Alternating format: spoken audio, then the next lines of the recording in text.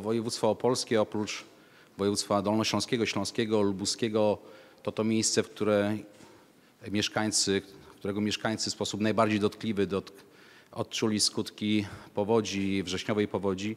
Dlatego bardzo się cieszę, że w dniu dzisiejszym Państwowa Rada Gospodarki Wodnej pod przewodnictwem pani profesor Zimoch będzie obradowała właśnie tutaj. Państwowa Rada Gospodarki Wodnej to ciało eksperckie, którego jednym z głównych zadań jest wypracowanie rekomendacji, propozycji rozwiązań legislacyjnych, faktycznych, które mogłyby usprawnić funkcjonowanie gospodarki wodnej w Polsce. Dzisiaj rząd przede wszystkim na celu stawia sobie wsparcie dla mieszkańców.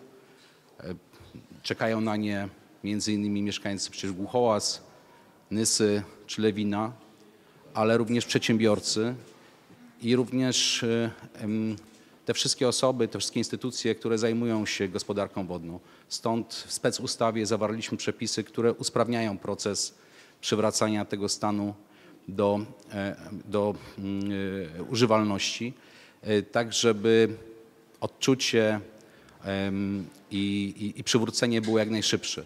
Szanowni Państwo, ale główny cel to oprócz y, udrażniania tego jakby na bieżąco, to jest również podejmowanie takich strategicznych decyzji.